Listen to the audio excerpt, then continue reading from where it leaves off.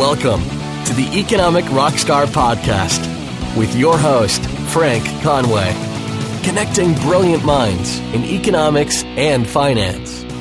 Hello, and welcome back to another episode of the Economic Rockstar Podcast. In this week's episode, I speak with David Zetland, and he was a previous guest on the show back on episode 39 in June 2015, and he's come back on the show to update us on his recent work that he's done on climate change project Life Plus 2 Meters, which is a collaboration with many different people and the majority non academics.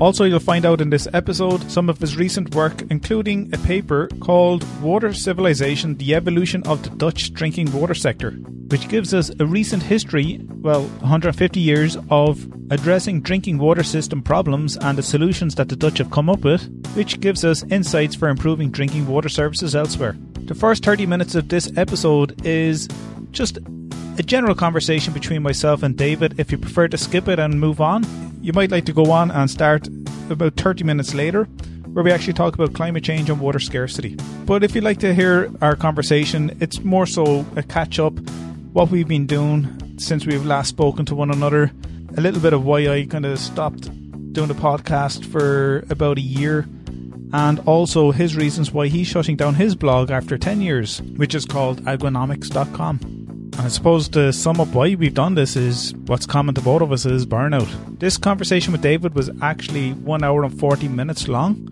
so I decided to condense it into the one hour audio, which is typical of this weekly episode. And I will make the rest of the interview available to Patreon listeners to access immediately. And if you'd like to access the rest of the interview, visit patreon.com forward slash economic rockstar but the rest of this interview will be made available shortly on my website, economicrockstar.com forward slash podcasts, or you can check out all the other platforms which uh, will be made available for free, such as iTunes, Stitcher Radio, and Spotify. Again, if you're a fan of the podcast and you listen on iTunes, I'd appreciate an honest rating and a review. That will rank the podcast higher and will get more listeners that way. Or if you want to show your appreciation in another way, you can check out the Patreon page and contribute at least a dollar a month. You can opt out of that at any time. There's no commitments whatsoever. And again, thanks very much for all those people who have become patrons of the podcast, and it's much appreciated. Thanks very much. So, again, enjoy this episode with David and myself. And it's great that this episode is coinciding with Water Week 2018, which runs from the 19th to the 24th of March. Oh, there you are. Hey. How are you keeping it? I'm just trying to make out, is that an XY on your flag or an XX? XXX. Oh, three X's. Ooh, Yep. saucy. yeah. Well, they were they were saucy before it was even saucy. It's Were uh, it's supposed to be like the church and the another church or whatever. So Okay. yeah. They uh now it's now it just stands for porno as far as people are concerned. Yeah, that's it, yeah. So uh, this could get quite explicit. just in case you were wondering. Yeah. I actually admired that um the ceiling and all the last time you were we were talking to each other. Yeah. I like the, the you know it's it's it's, still nice it's still there, yeah, with our our thick beams. In the summertime, when it gets hot, the the the tar from the roof melts through the cracks and falls on the floor here. So wow. that's uh, you know, climate change is going to make our our roof very unstable. we'll have to look for alternatives then. Um, Oh, yeah, the tar exactly. there. So yeah, Yeah. it's good to see you again, David. You know, I Yeah, long a- time. I took a break for a while. You know, it was pretty much a year. Yeah, it was pretty much a year. Yeah, Uh, and I see with your email that you're going to stop doing the blog. Is it? You have two of them. yeah, yeah. I'm I'm um, you know, it's almost ten years. Like, in fact, next Monday will be the tenth anniversary. Wow. So I'm I'm going to write a, vic- a a post that's you know declares victory, and I'm going to say more or less, um, yeah, the, the the the blog is dead. Long live the blog, because I'm going to kind of uh, say that the this 10 years of blogging has been helpful in all kinds of ways, and I'm going to put out a book called The Best of Aguanomics because Yeah. there's no human out there that has ever read all these posts, and if you set them to 6,000 posts, they would just you know kill you immediately. Yeah. But a book would be a nice way for me to kind of close up that chapter. Mhm. And then I want to turn around and start a new project, um, probably in the fall because I'm starting to be mature about not rushing around all the time, uh, and, and burning myself out, which Uh, is, uh, that's what I happened to me. Yeah.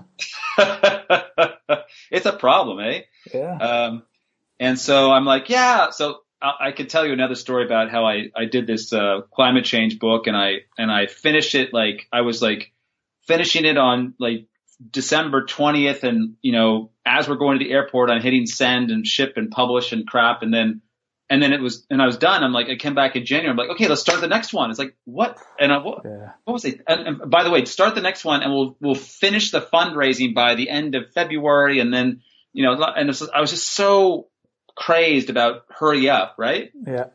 and then I was like, okay, no, no, no, wait. I, I, I had a, I had a, a, a epiphany called "Don't be an idiot," and then I was like, I can do this. And I think I ended up doing the the fundraising by the end of May, and then I collected stories until September, and then I proofread, and, and I get fucked again at the end of last year. So that was the first book was end, end of 2016. The second book was the end of 2017. And then, uh, but I got fucked up because the 35 stories by the authors were actually not really that well proofread or edited. Yeah. And so I just ended up working like five days straight editing all these stories, pissing off all the authors because I was just brutal. I, I was cutting their shit by like a third or 40% sometimes. But in the end, they agreed and then I got the book done again, like pretty much on December 20th. Oh, no, no, no. Actually, I couldn't get it done because I couldn't get the authors done in time. I'm like, okay, guys, I'm going on vacation. I'll see you in January. Yeah. And nobody minded that. So it was all me and my bright ideas, you know, that's burning me out. Mm. And that, that's the book that you have. That's so I have.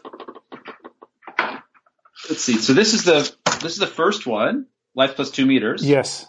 and this is the second one, Oh volume wait, two. oh wait, oh wait. Okay, I saw that one. That's This the the 34 logo, orders in it. So that's the So I second use one. this logo all the time on the website, and this and so this was the cover of the first book, and this is the cover of the second book. Okay, okay. And And, you got uh, that done in um, the two years, really, 16 and 17. yeah, so so the first one was published at the end of sixteen, and the second one was published at the end of seventeen.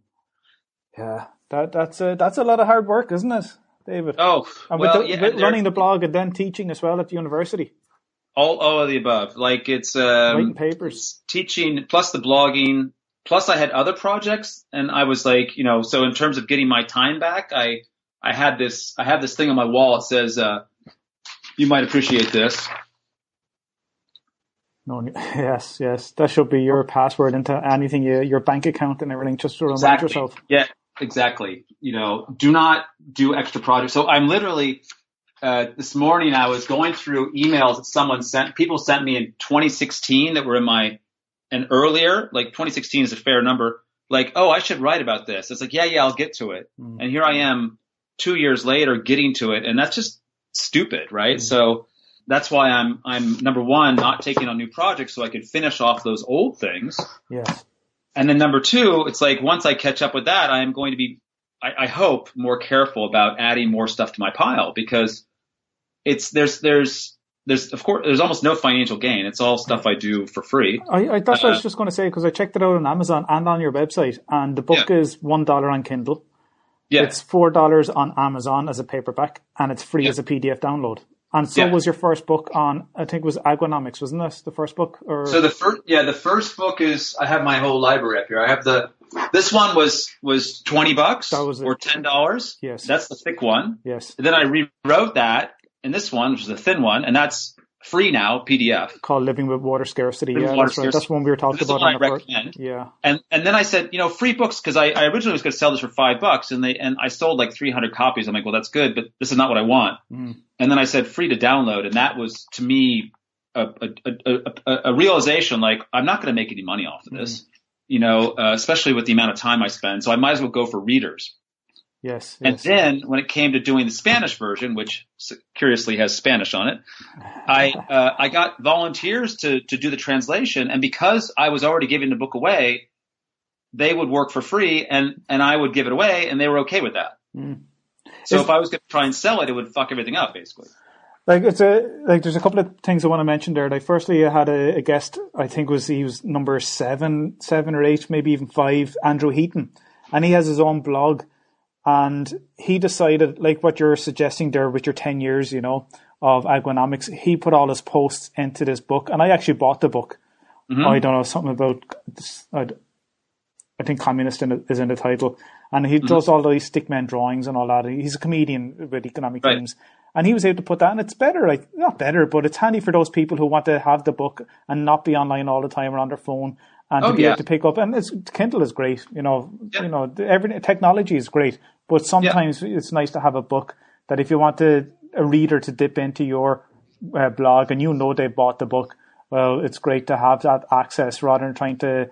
Um, I don't anyway. I don't know whether you do find out how many visits you get per month. Maybe at the oh, beginning oh, yeah. I was kind of watching these things, but just exactly no, not anymore. You know, yeah, I've, I've, given up. It's just like it's a fool's errand, right? Yeah, yeah. And then uh, the the other thing I was just going to say there. Oh no, it's gone. Um, it's gone. Just you show me gone, the book. Gone traveling. Gone. Yeah, it's gone. Gone walkabout. yeah, but that's it. But um, no, sure. Look at as well as that. You just have to look after yourself as well. You know. Yeah. And I, I know there's so many downloads on this because I can look at my uh, statistics on the host that I have this podcast on. Right. Uh, I don't. I don't know on iTunes how many I have. All I know is from a bar if it's a, a popular episode. Popular which, yeah. yeah, but that that kind of comes and goes on a weekly basis. So what was once really popular a year ago doesn't have that kind of those bars like a like a battery bar as such.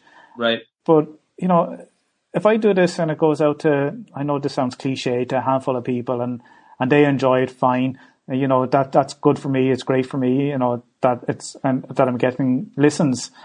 Right. Because I, at the time I did enjoy it up to a certain point where I felt that I wasn't, I was doing it for the sake of doing it and kind of yep. trying to put myself under pressure to have somebody on and uh, the next Thursday and the Thursday after. Yeah. And things, you know, you suffer for, for it.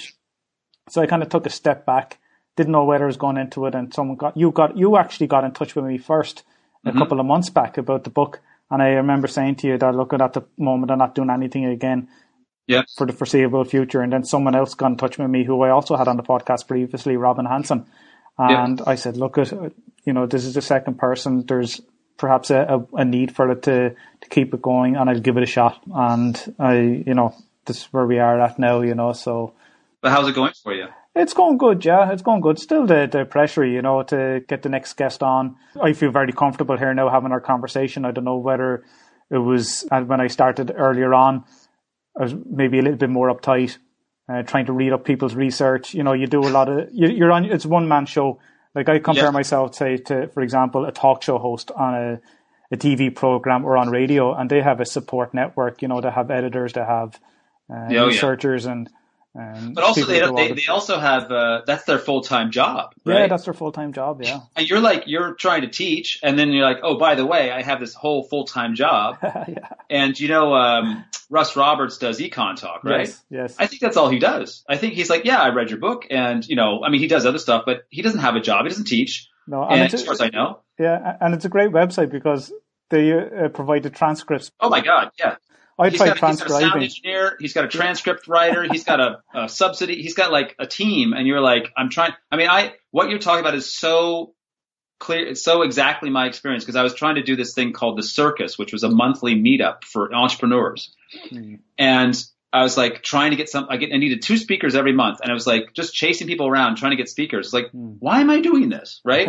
uh, and then the worst, the, the the end of the story was I had 45 people signed up to co- show up to this thing. I, I had some guy coming from from Amsterdam to The Hague, which is like I, I work. I live in Amsterdam. I work in The Hague, so it's like a 40 minute train ride. Someone's coming. 40 people are signed up, and then like three people showed up, and I was like, I'm done with this shit. I, I am not going to kill myself for this kind of treatment, whatever you want to call it, or lack of interest. And I was so happy when I ended that.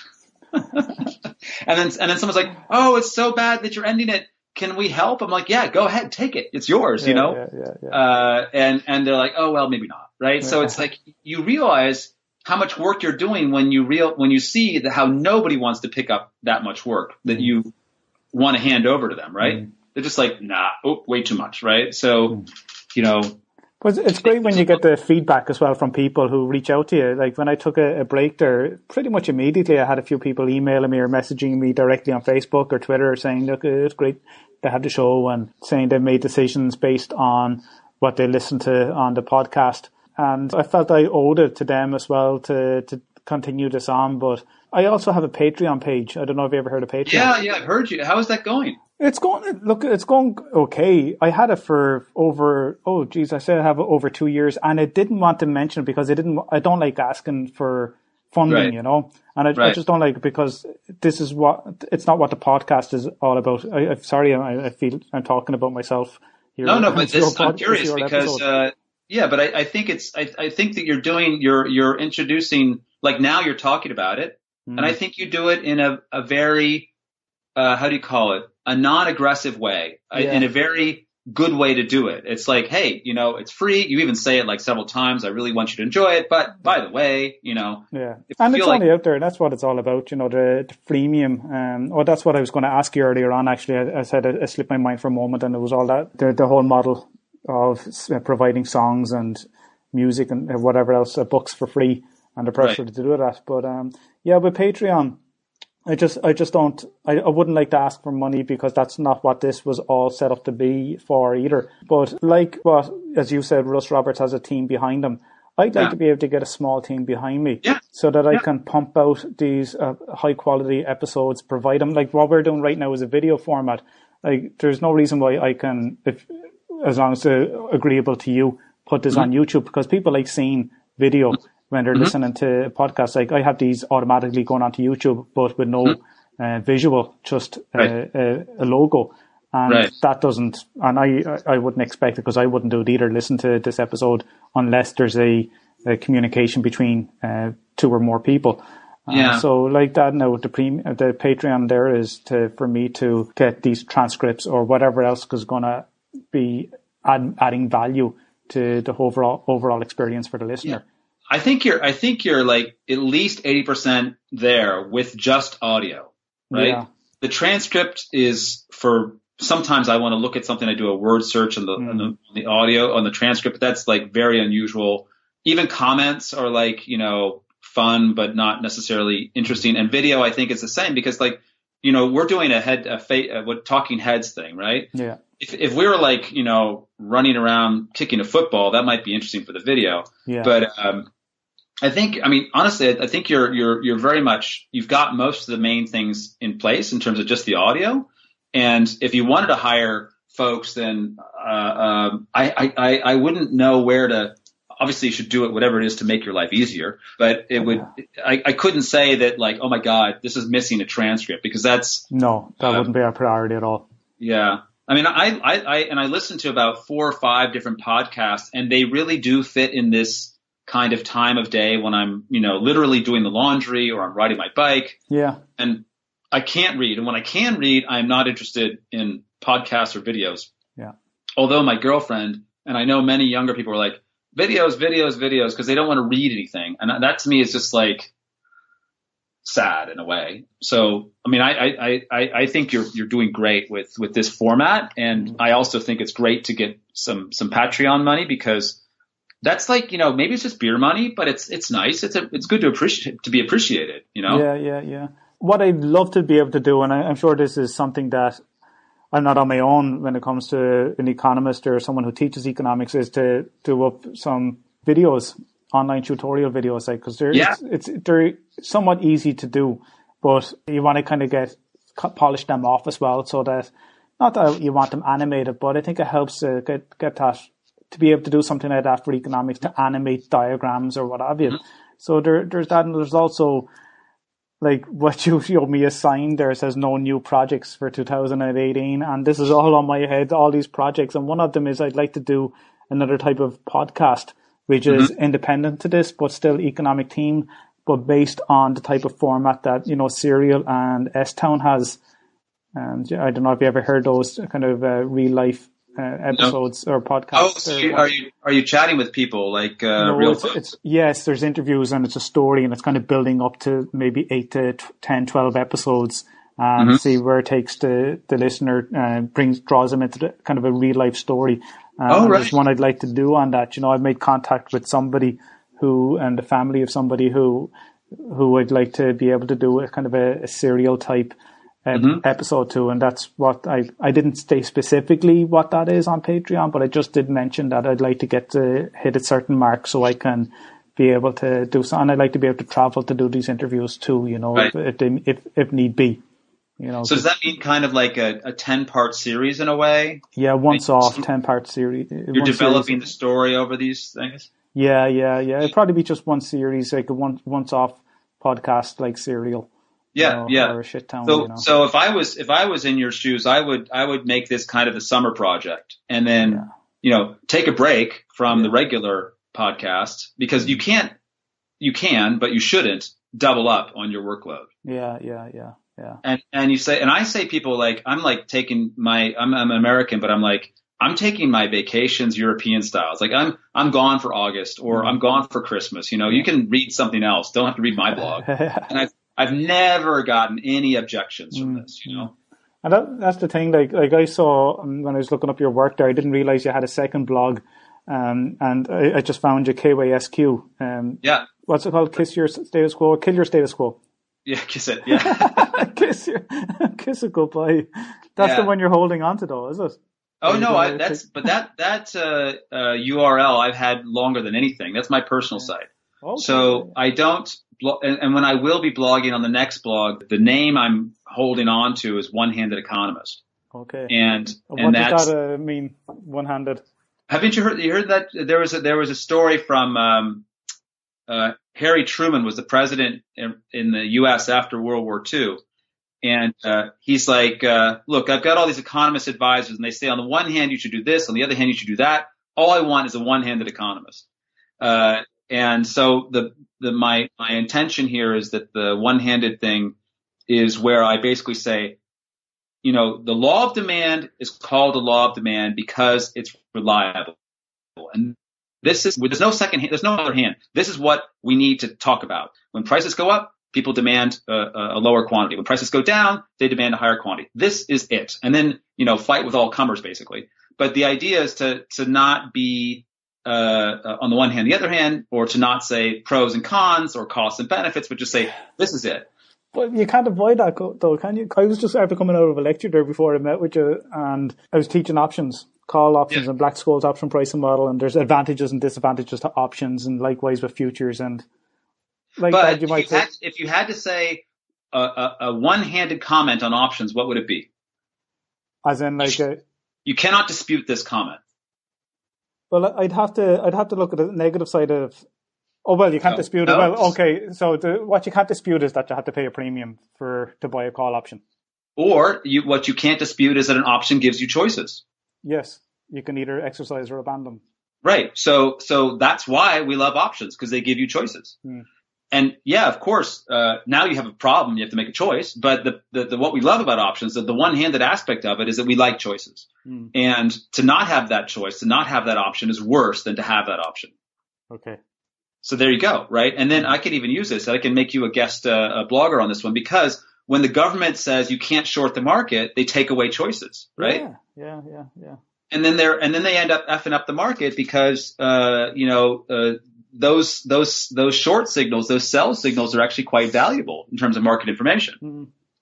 I, I don't actually understand why they did that in Europe as well. They actually banned short selling, as if It's- short as if the short sellers were to blame for the stock market crash.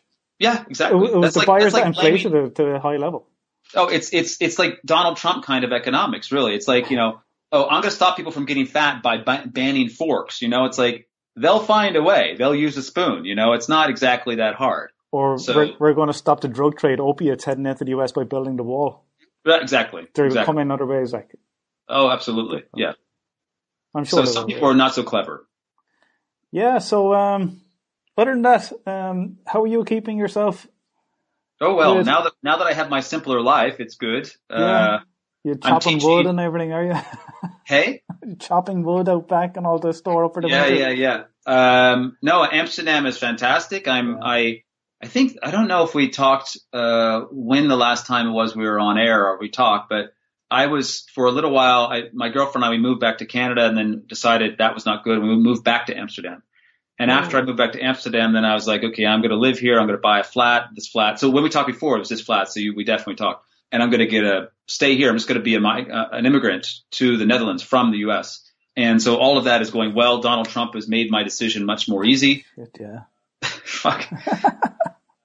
and my job is fun and, you know, so on. So it's, it's, it's, I'm, I'm, I'm doing quite well, quite well. I'm really, really pleased.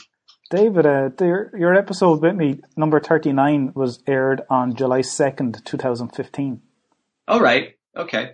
And I moved in here in uh, January 2015. So I think uh, we talked uh, briefly a month or so yeah. before that. And you were on the Russ Roberts podcast actually before me, before you came on to mine, I mean. Yeah. Yeah. Ah, yeah, yeah, yeah, yeah, that's yeah. Right, that's yeah. right. Yeah. So I think you kind of covered in a way why you're shutting down your blog after 10 years, or is there any other reason why you're doing that other than, you know, putting it out there in book format? And the fact that you're taking on new projects and you want to kind of look after your other things, you know? Yeah, uh, I, I, I love blogging, but I think that, you know, you, you, you, in some ways you could do it forever, but I, I find my, you know, when, when people write a, say a newspaper column for 30 years, yeah. you know, they don't necessarily say, go read what I wrote 22 years ago. And in the blog, it's not the same because it's about ideas, not so much news. And so in some cases, I'm going back to blog, uh, blog posts from 2008 and so on. And so that's why I decided to kind of shut it down because the archive is just unmanageable. Yeah. Sorry, uh, no, I just sticking in a recharger and it's not taking it. Oh yeah. Okay, sorry about that, David. Well, housekeeping. You lost your earbuds. There we go. There, there were eight sockets there, and I got to the eighth one. That sounds like uh, sounds like the uh, the uh, what do you call it? The maintenance crew has not been paying attention. yeah, so so I, so I was telling you that the the blog. So that there's a couple reasons why I've shut down the blog. One is that it's like the archive is just massive. The other one is that I kind of find myself saying the same thing over and over again about water stuff, and I'm you know this one-handed canvas thing is much more broad than mm-hmm. just water and environment. Yeah. The other one is that uh, yeah, I, I find that that daily grind of the blog is is not necessarily a great thing. So that's that's that. And then I think I like blogging, so that's why I do want to switch to another kind of blog. And I, I can't say that I like I like I'm going to do less blogging because I want to do more research because I don't want to do that. Mm. But it's, I think more it's also just like lowering the number of hours I work on things so that I have more time for you know just I guess what the Dutch would call like living your life, you know, because they get they get off of work and they just they don't think about work. They're done. They they go home and they you know make dinner at six o'clock and you know read the paper and shit. So it's like I'm kind of liking that idea of of of slowing down a little bit and and just and you know the best thing is, is that you can read a book, you can yeah. talk to somebody, you can go for a walk. It's like holy shit. Like I live in Amsterdam. Why wouldn't I want to go for a walk? You know. Yeah. So this is a weird way of of getting back control over my life also. Yeah. Uh, but when when you do have time out from it, you do kind of miss it. It's always on the kind of burning in the back of your mind, you know, to to do something. That's the way I felt anyway. It's great then being able to start talking to people again, like like yourself. And recently, I had say Eugene Fama and Vernon Smith. Yeah, you know, very so, very impressive guest. Yeah. Congratulations. Yeah, thanks very much. And I, I think it helps when you have a back catalogue of people that are that are not not all of the same dis not not the, of the same like I this isn't the biased podcast either, you know, in terms of the content. So it's quite varied, and mm-hmm. I think it's great that um, all aspects of economics is hopefully touched on. Yeah, absolutely. Uh, I mean, this is where where people are like, "Oh, economics, it's all about money, right?" Or it's all about markets. I mean, I give this lecture telling students about you know the difference between markets and society, right? And and you can't and there's some crazy they say, oh, neoliberalism, blah blah blah. It's like you know neoliberalism is is like it it's it's a, it's an oxymoron because you cannot have a market without having society. You have to have rules and government and regulations and all that stuff. Mm. And so they're like, oh, the market is running the politics. Like I don't think so. Yeah. And so in that sense, I I think that the uh, you know just discussing the the complexities of, of life, using economic ideas is really the best you can hope for. Mm. Because if you just say, I'm going to talk about economics and, and, and we're not going to talk about anthropology or sociology, well, then you're an idiot because mm. all those other people have really good things to add on the exact same topic. And that's mm. what I really like actually where I work with this interdisciplinary work yeah. is that, you know, we've got not just scientists, but also other, other social sciences. And it's, and it's kind of cool a bit of a joke between us, like among us, like, oh yeah, you're just a sociologist, you know, what do you know? You're only talking about group groupthink. But it's nice to have other people around and, and, and, and not just be in an economic echo chamber, which can get pretty, I don't know, bad. I was just writing a blog post today about how, um, because this guy wrote me a, uh, he was teaching with my book. He said, I couldn't use part two of your book. Part two is like the, the, the politics of water or the sociology of water. And he's like, we couldn't use part two because it didn't fit into the economic paradigm. I'm like, well, then you need to think bigger because mm-hmm. water has a lot of politics around it yeah. and it involves the community. And so I, I was explaining that in this blog post. So in that sense, I, I think that it's, um, your show is good because you're not only are there different strains of thinking in economics, but I, I, I really like it when you bring the, the traders on in because the traders like give no fucks about economic theory and most of the economic theory does not apply to what the traders are doing, right? Mm-hmm. Same as with marketing people. And that, that should be pointed out to a lot of academic economists that they're like missing a lot of the reality. And so that's, you know, you're doing well on that. Let's talk about your book actually, where the guy said that he couldn't look at the second part and use it in his classes because it doesn't touch on the economics and the politics side. Is yeah. this the, the Life Plus Two Meters, Volume Two? yeah, yeah, yeah. No, no, no, no. That's the that's the, the economics. But are we being recorded, by the way? Are you? Oh, this is all recording, and I don't mind if you want to leave it out or you. you... Oh no, I, am just as as, I, as long as we're as long as you're in charge of editing, that's not my problem. So. what do you uh, want to leave something out there? Do you? No, no, not at all, not at all. Oh, cool, uh, cool. Everything is in, even the even the the triple X flag. So cool. when I when I did End of Abundance, I was I'm really not good with organization. So right. when I first wrote this, the first draft of this, I threw out. The second draft, I threw out almost 80% of it. The third draft, and these are this 80,000 words, right? So the third draft, I kind of bit the bullet and I did it again and I found a scheme that I really liked. And the scheme was that I was going to organize the book in two parts. And the first part was going to be about water as a kind of an economic good. And, and, you know, we talk about excludable goods, right? Mm-hmm. So excludable goods, you can put a price on it, you can put property rights on it. But then you have another kind of good, which is a non-excludable good, and those you can't put a price on because everybody jointly owns it or uses it, like common pool goods and public goods, right? Mm. So my most common slide now for any presentation is showing this, this, these two columns of, of market goods and non-market goods or, or economics and politics. Mm. So the book is arranged into the economics of water, which is part one, and the politics of water, which is part two. And the, the, what I say is in the, in the introduction to the book, and I did this for the second book also, Living with Water Scarcity. What I say is we need to decide how we're going to allocate water to among ourselves as a social good. Like that's environmental water. That's water, mostly water that we don't want to put in a market. We put that water aside. So in Ireland, you'll say we want to have our marshes. We want to have our rivers. We want to have uh, all of this water that we all jointly consume, potentially a human right discussion goes in here also. And once you set that water aside, then you allow the rest of the water to be allocated through market forces and prices. Then you allow capitalism to work. Then you da da da da da. And then what you'll get is the much more efficient allocation of that water what, uh, after you've protected the water that we all share. Mm. And so you cannot talk about markets for water and, until you have already talked about the community water. And, and that's where people, uh, I think a lot of people get very upset about economists saying, but what about the community? It's like, okay, we're going to take care of that. So that's why I, I structured the, the book in those two parts because I wanted to acknowledge those two different and very important uses of water while kind of focusing on one at a time. Because if you, if you mix them all together, people freak out. You say, you know, water is a human right, water in the environment, bottled water, tap water, it's all a mess. And, and my job is to pull it apart so that we can talk about it one piece at a time and not get confused. And so that's why I did that structure in those, in those two books. Uh, when you were saying, uh, talking about that, all I could think about was say, um, the use of fracking at the moment and how it's, sure. how it's going to affect, I don't know what that is, water underneath the ground. There's two major impacts of fracking. The first one is taking the water out of some location mm. so that you can inject it later on, right? So you might d- drain a river to frack, or you might pump groundwater to frack. Then once you frack, you're going to have the water coming back, the, re- the return, what do they call it? Return flows. Uh, and that's not the same as produced water because when you drill an oil well, you get water sometimes. It's called produced water. But when you frack, you get return water, and that's just full of crap, right? So it's it's full of the fracking solvents as well as potentially oil or natural gas contamination. And that, when it comes on the surface, that can contaminate surface waters.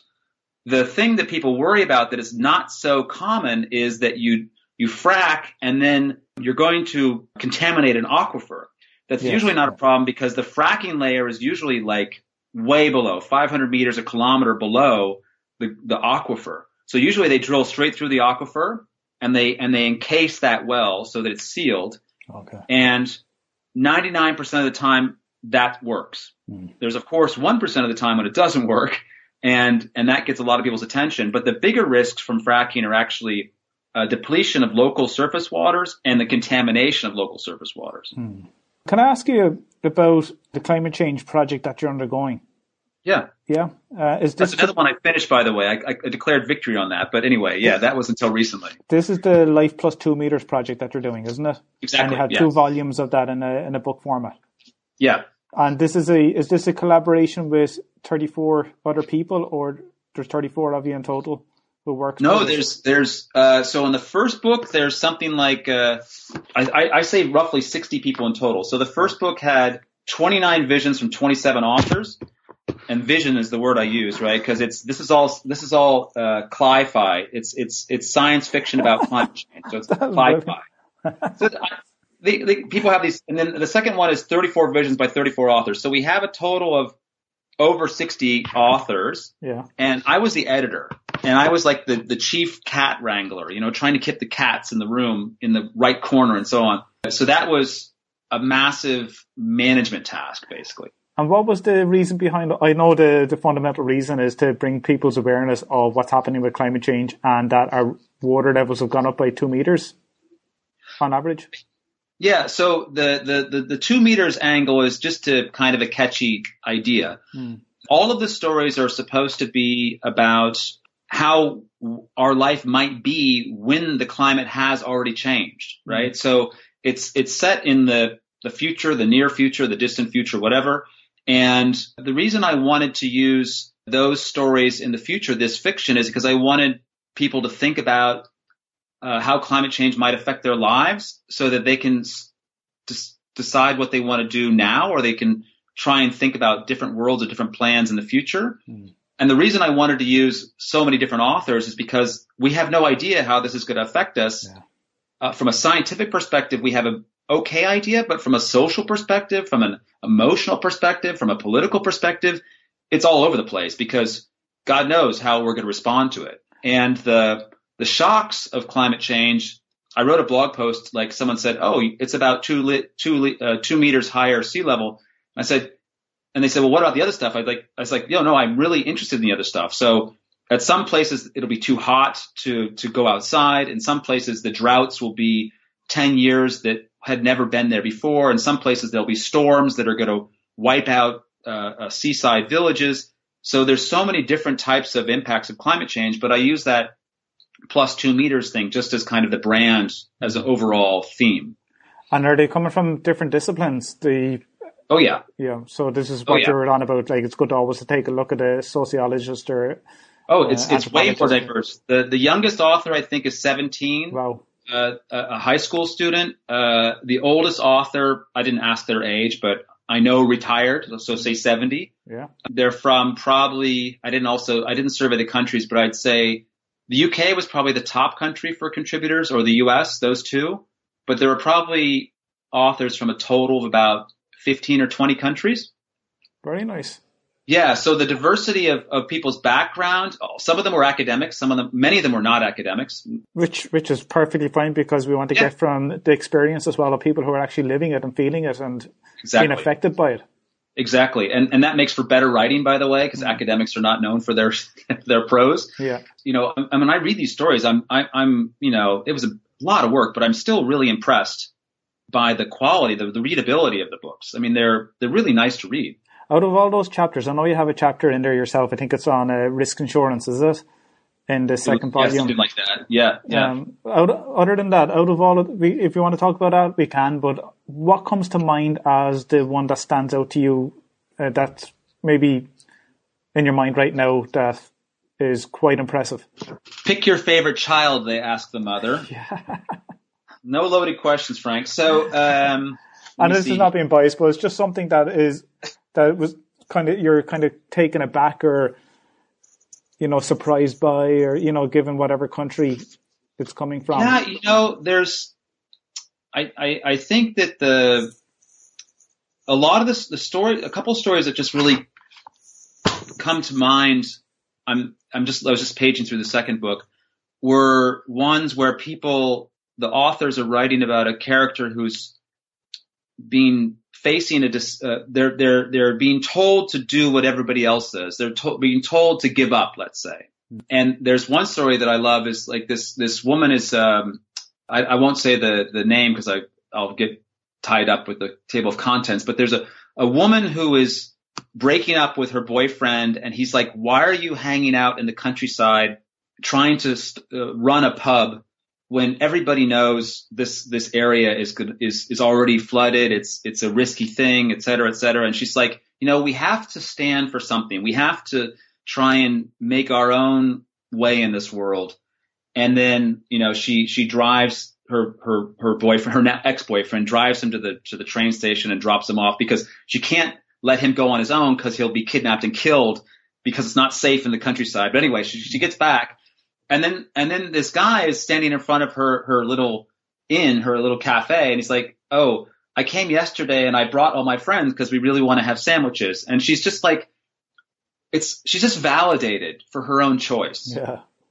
And you know, it's like when we were just talking earlier about how if someone sends you an email saying, you know, thank you for what you're doing, your blog or whatever it is, like that is they come out of nowhere, you know, mm-hmm. and and you, you put in work day after day, you have no idea if anybody cares.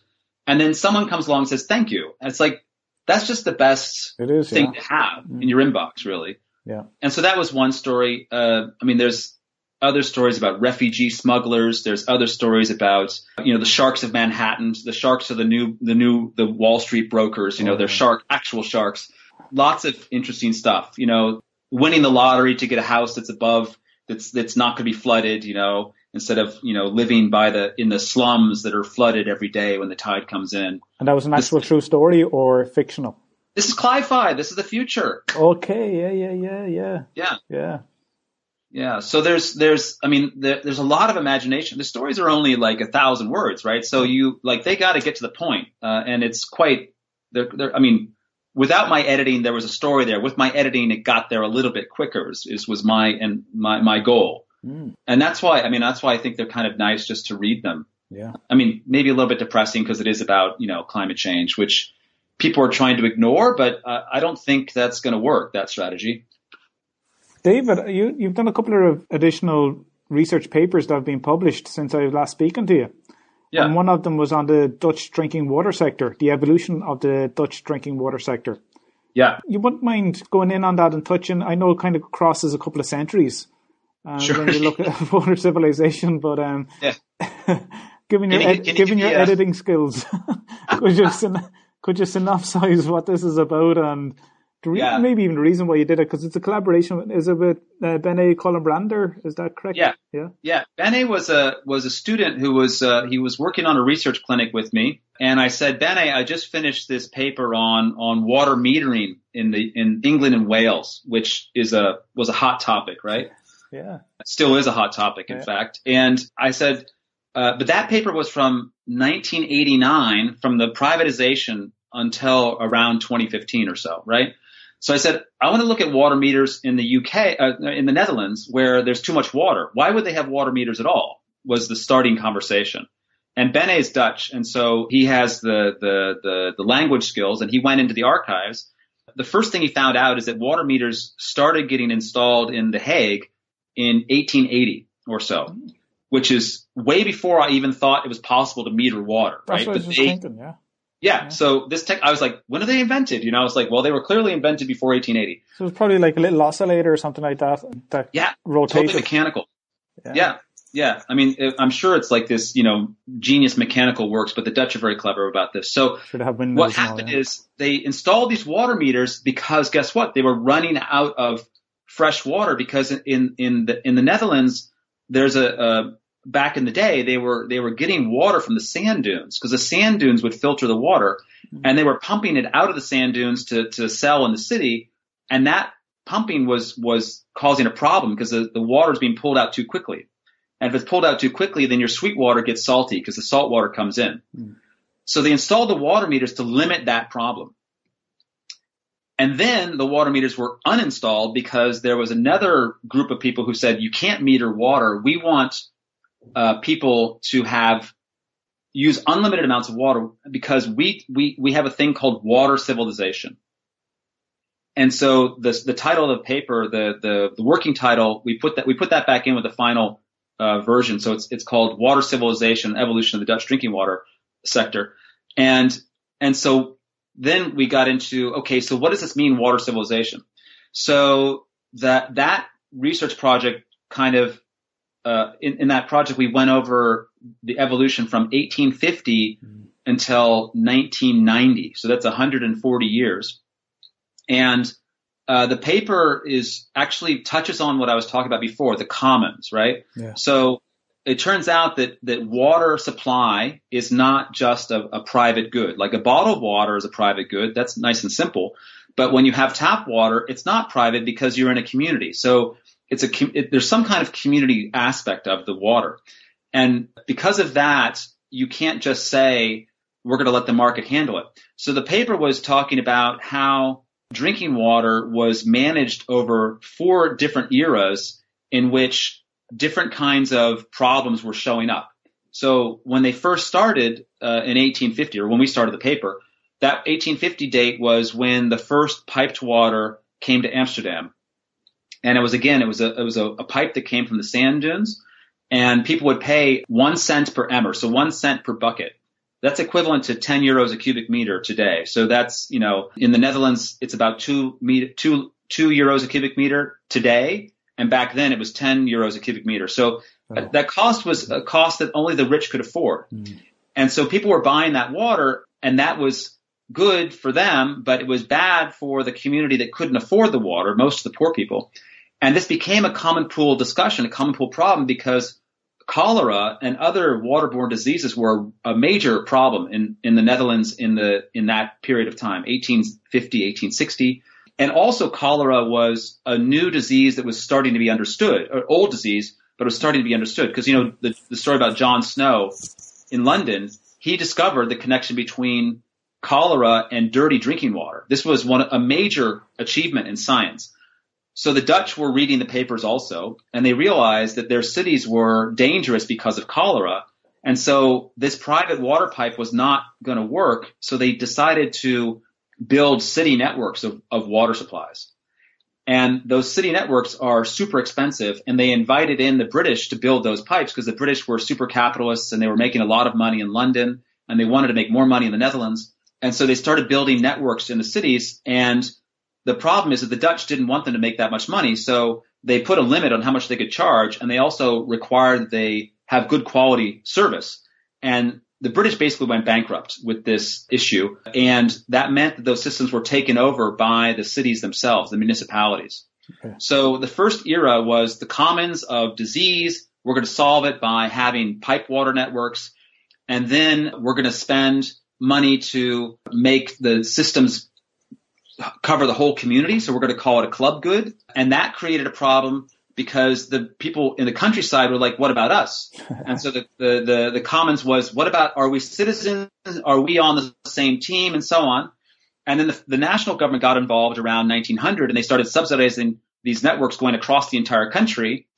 And that was great, cost a lot of money, a massive, like 2% of GDP. And then that got people upset because of the commons of the budget of too much money being spent and they said we can't do that anymore. And so they changed the model again around 1950.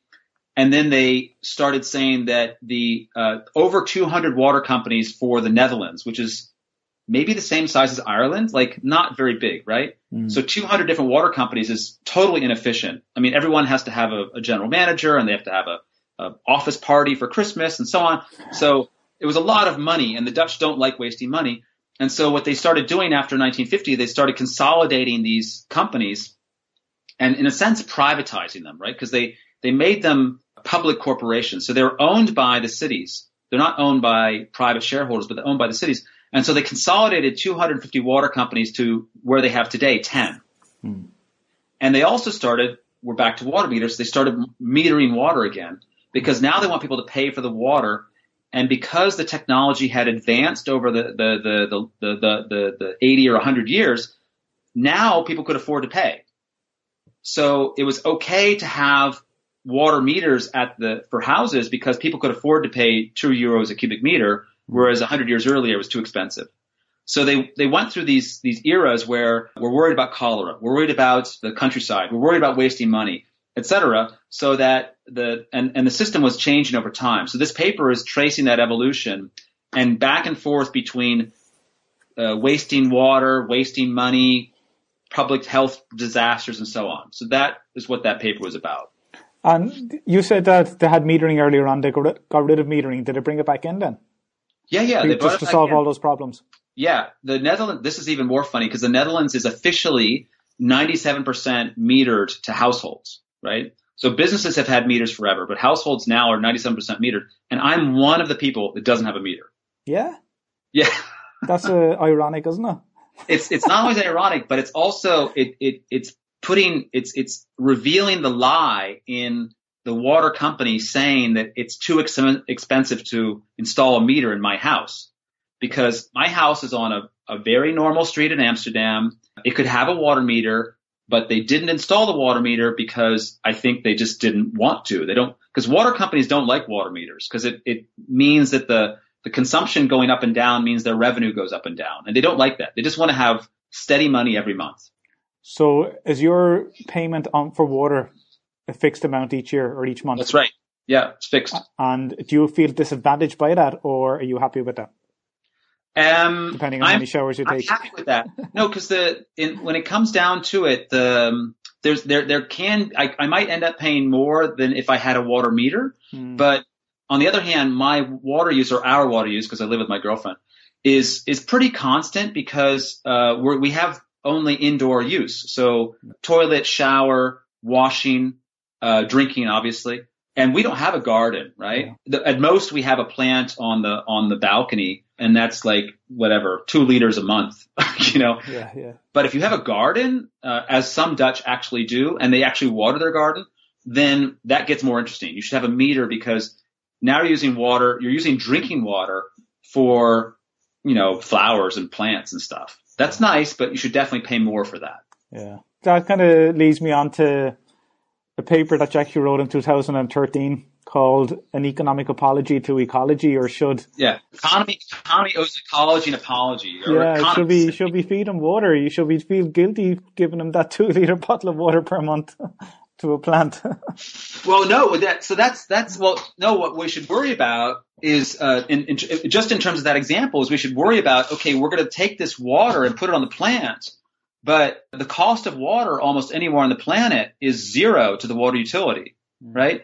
So when you can drill a well or when you can put a pump in a river, you can take it, right? Mm-hmm. And if you can do that, then congratulations, you have a, a free input and, you know, as you know, the, the water prices that we pay are, are the prices for the system, for the pipes and for the energy and for the treatment. But the water is, is almost always free with very few exceptions. So if, if the water is free, uh, people are going to use a lot of it. Water managers are not necessarily going to be very careful about protecting natural sources because it's free. Mm. So in that sense, we owe, we economists might might owe ecology an apology because sometimes we forget to price nature. Yeah. Uh, and and we know that of course with climate change we're not pricing pollution and atmosphere and so the atmosphere and so we're running into all kinds of problems because of that essentially yeah uh, not pricing that that cost. I know, what I'm going to ask here now is more to do with religion, and I'm not here to criticize anybody's religion at all because it's this isn't a podcast for, and I, am not like that person anyway. But um, recently, there's a report about a group in India. Uh, I think it's uh, based on Vedic. I know there's a Vedic Mats, and I think it's the kind of same thing. Uh, and they're going to be burning 50,000 kilos of wood that they have stored. in order to improve the pollution or it, as a not improve the pollution, but in order to uh, protest against pollution.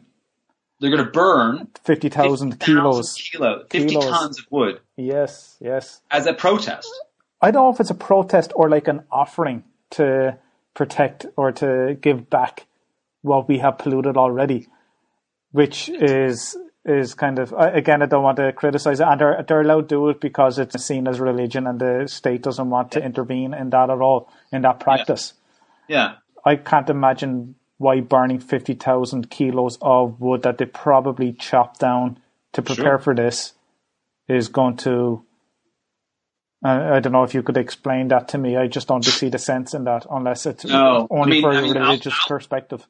I'm I'm I'm okay with uh, condemning religions for being silly about things, but um, but I think I mean that's it doesn't sound it's so I know that in India the most common reason that that wood would be burned for any kind of religious purpose is to uh, cremate a body.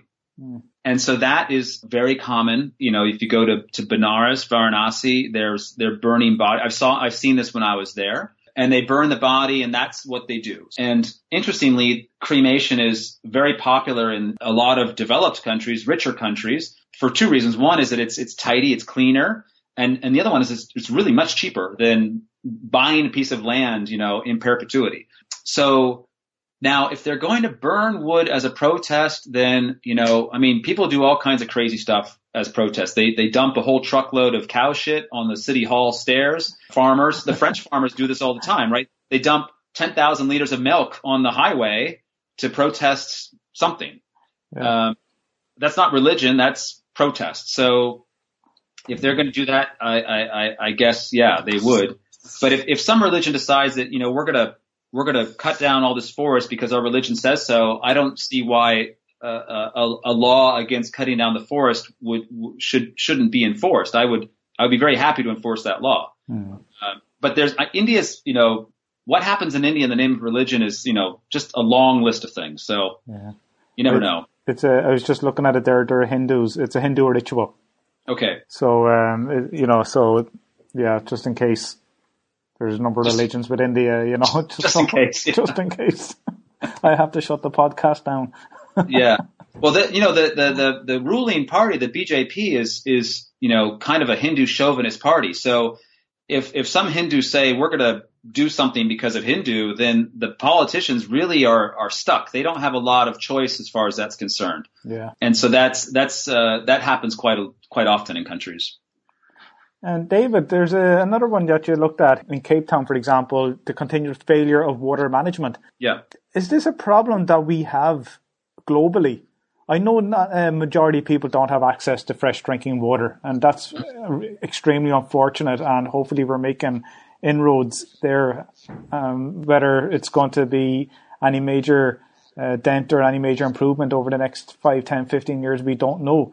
But in countries that have this fresh drinking water or the possibility of accessing it is is as you, according to you is failing quite a bit, and you have some evidence on that. Yeah, sure. I mean, it's it's you know what they say sometimes that there's no such thing as a, a food shortage. There's just a food distribution problem because mm. there's enough food on the planet to feed everybody. Yeah. And and that's been talked about a lot. And and the same is true with water. So when it comes to water and water services and you know water technology, you know the the technology of providing uh, clean drinking water is is very well known. It's very uh, portable. You can bring it into any country, and yet it's not uh, implemented. And if it is implemented, it's not run properly in many many countries. Right. The, this is a problem of management. And and the Millennium Development Goals they said we want to reduce the number of people who they the the actual exact words are lack access to an improved water source. And what that means is, as far as the bureaucrats are concerned, is that uh, a pipe, which may or may not have water, and the water may or may not be drinkable, is within, I think, 200 meters of your house if you live in a city. That was their definition. Okay. If you use a definition like a normal person would say, which is lack access to uh, drinkable water, clean water, then oh, so the first number is there's 900 million people in the in the world according to the to the UN, that lack access to an improved water supply uh, source. And if you say lack access to clean water, it's more like 3 billion. Yeah. Yeah. Right. So it's a vastly greater number. And, and we're talking about people that, you know, they, if they get it out of the tap at all, they boil it, they have to filter it, et cetera. So, uh, from everything that I've ever followed, the, the reason that those people don't get access to water falls in two categories. One is that the monopolist, which is in charge of the water supply, and almost always it is a monopolist, can't be bothered. That is essentially it. they just don't care. Yeah. Uh, and they don't get penalized for it. The other one, which is quite common, is that they're not allowed to charge for water. And because they're not allowed to charge for water, this is true in India, for example, or they charge, you know, something like uh, 10 rupees a cubic meter. They charge like 20 cents a cubic meter. And the cost of delivery might be, let's say, a dollar a cubic meter. So every cubic meter they deliver, they lose money. Mm. So they have no interest in delivering water because they'll just keep losing money. And that means that people don't get water who are, are, connected to the network, or it means that the network doesn't extend to them because that's just losing money. So that's a very common problem in many countries that the mm. price is so low that the water managers can't expand the network. They have no money. Mm. I ran into this more uh, several times in the ex-Soviet Union. I did consulting in Ukraine and Kazakhstan, and the people were willing to pay for the water. Yeah. They wanted to pay for the water. The companies were there to sell them the water, and the government was saying you cannot sell them at that price. You have to sell it below the price. So what happens is it, there's no water, mm.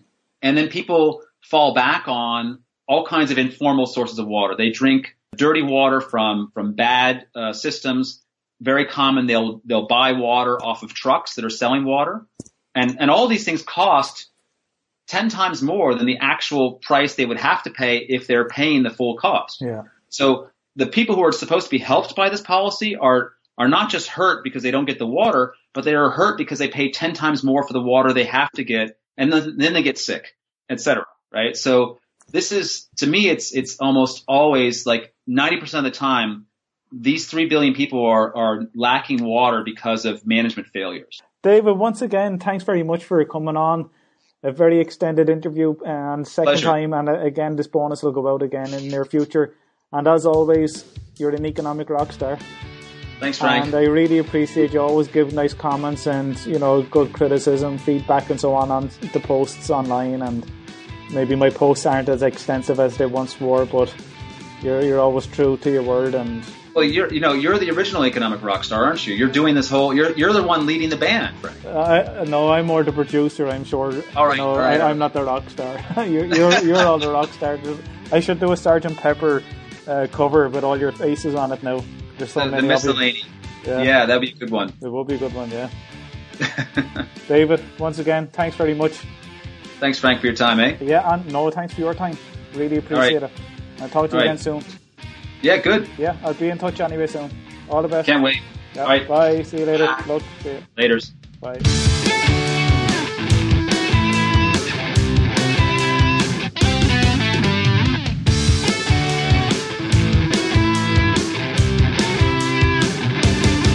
Economic Rockstar is a free podcast that does not exclude anyone from listening as long as they have a device to listen, download, or stream. I have many listeners from all parts of the world, and I truly am pleased to know that the Economic Rockstar podcast unites all of you through the common theme of economics. I strive to commit to releasing an episode each week and aim to develop Economic Rockstar into much more than just a podcast. Patreon is a platform that gives you, the listener of the Economic Rockstar podcast, the opportunity to express your appreciation of the show by committing a financial reward for as little as $1 a month. Patreon allows me, the creator of the Economic Rockstar podcast, to be rewarded and paid by you so I can continue with the running costs of the show and to reinvest and expand the podcast into other platforms or mediums in the future. To find out more on how you can help the Economic Rockstar podcast and have your name added to the supporters list on my website, please check out my Patreon page at patreon.com forward slash economic rockstar or visit the supporters page on the Economic Rockstar website. If you enjoyed this podcast, why not leave some feedback or comments on the show notes page on economicrockstar.com? Where you can also sign up and be a member of the Economic Rockstar community. If you're listening to this episode on iTunes or Stitcher Radio, I would love to have some feedback and for you to leave an honest rating and review, as this will help with the rankings of the show so that more people can find it. If you're listening on the website economicrockstar.com, make sure you check out the back catalogue of all previous episodes and interviews with some amazing professors and authors at economicrockstar.com forward slash podcasts. Thanks for listening, and I really appreciate your loyal support. I know how much you love audio, so why not get a free audiobook with Economic Rockstar today? I've teamed up with audiobooks.com to bring you this amazing offer. Visit audiobooks.com forward slash rockstar to download your free audiobook now.